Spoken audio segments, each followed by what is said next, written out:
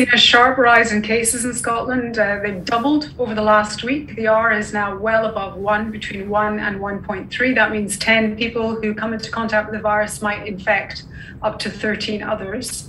This has occurred for two main reasons. August the 9th, the lifting of all legal restrictions, a lot of households mixing, and secondly, the return of schools. Uh, so you can see that the cases are predominantly in younger people.